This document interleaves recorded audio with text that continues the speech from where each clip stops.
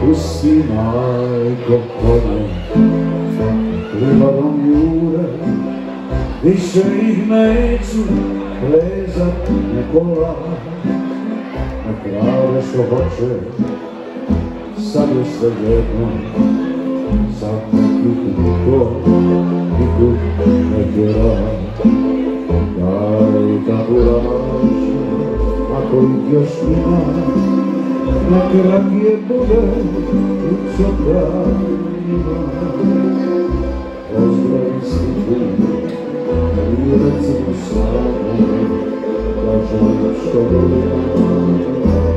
pričamo, odlazí, ale čudá, nás otvorí,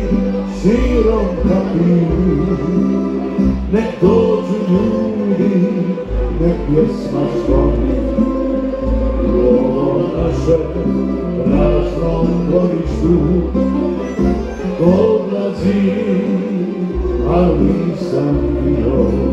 Znam da će sutra srce pokuti Ma ne mi je majko, al neću ne mogu Ne ništa, osim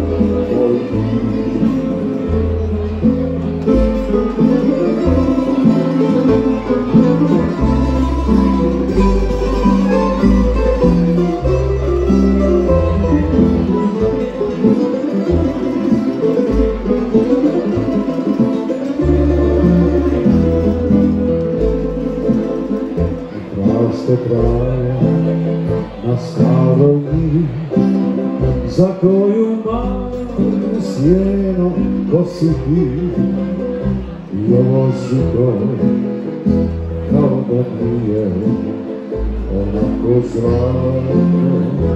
kao prije. Daj me urače, ako ih još u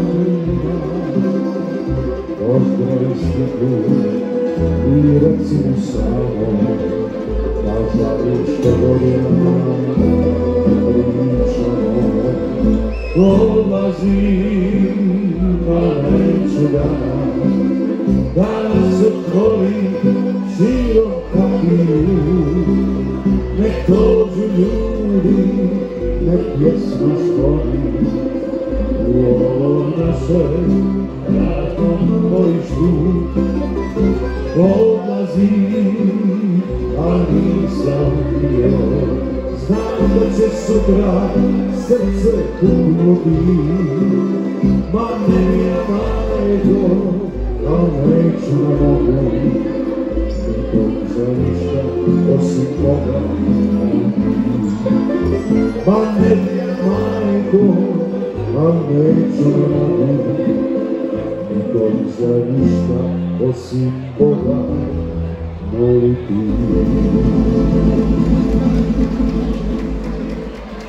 Dobro.